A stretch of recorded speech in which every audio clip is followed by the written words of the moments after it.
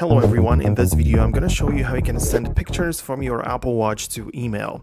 Now you should at first know that your Apple Watch doesn't have every single picture that your iPhone has. So it is like a setting that you have to set up. You have to choose which pictures show up on your Apple Watch. So in case you go ahead on your iPhone that is paired of course and go to the uh, Watch app for more settings and scroll down to find the Photos app. So photos are here and you can choose if the syncing happens or which album actually gets shown to you. So you can see that the album for me is the favorites, but I can also choose it to be something else.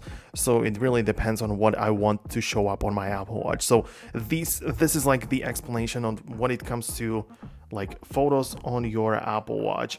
However, if you have a specific watch like set up, like if if you already have like a watch that you want to share and everything. So let's say you have a photo like this on your Apple Watch. It took me a little bit longer to like set it up, but in case you have a photo like this and you want to share it to your email, you have to just tap on it like this to make sure that the time and the arrow back shows up because also the sharing arrow pops up in the lower corner. So go ahead and tap on it and you can share it to like some contacts. So you can choose messages and mail as well. So it is pretty useful. You can also choose it to create a watch face, but this is essentially it. So you will be stuck with this mail app, so you have to use the built-in mail application.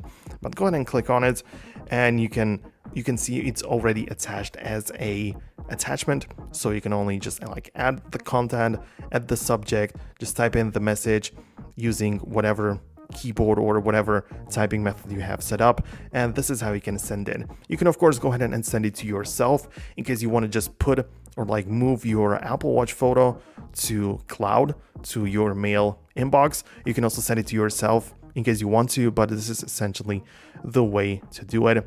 As I say, you have to set it up on the iPhone first, which photos show on your Apple Watch. So this is like a little bit more complicated there, but once you have a photo ready on your Apple Watch, you can just share it, put it to email, and then just send it as a message to someone else. So hope you found this video useful. If it did, hit the thumbs up, subscribe below, and I'll catch you in the next video. Peace out until then.